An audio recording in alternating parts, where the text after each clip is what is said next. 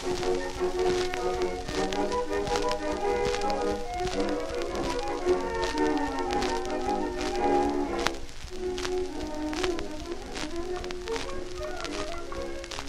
Edmund. Good night, lads. Oh, it's a game, it's a game. I'm a detective now, Edmund. It's true, it's true I'm here, I'm a detective. I'll tell you all about it, Edmund. Listen. I've always been fond of adventure, I have, and finding things slow for a time. I thought as detective I'd start on my own. I've got such a knowledge of crime.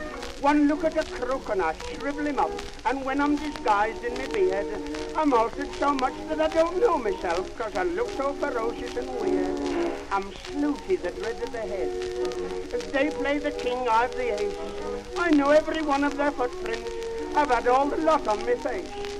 Sherlock Holmes is a rotten detective. He ought to be playing ping pong.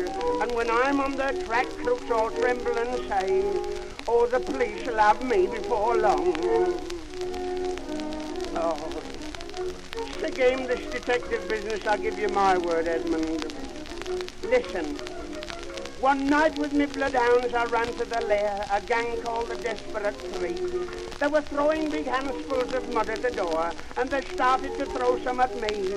And just as I opened my mouth to shout help, bang into my mouth a pile goes. My whistle was useless, I couldn't blow that, so to beat them I just blew my nose. And once while disguised as a cat, I went to a young ladies' school in search of a burglar they had there.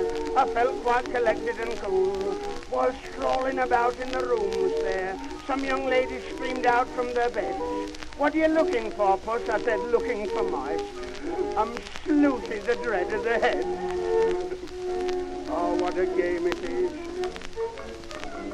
I could open your eyes if I told you some about my adventures, Edmund. I could listen.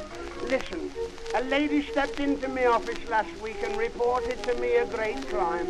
Somebody had stolen some stockings of hers. She'd hung out to dry on a line.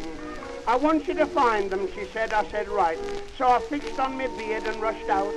And in less than three days, those stockings I saw on some legs that were walking about.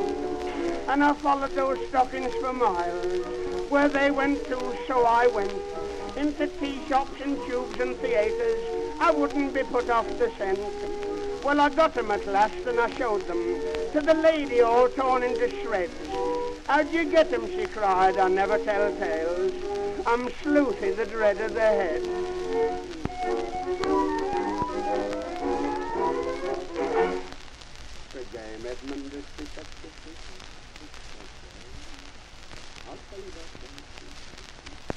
you worry about it, I've got some supplies.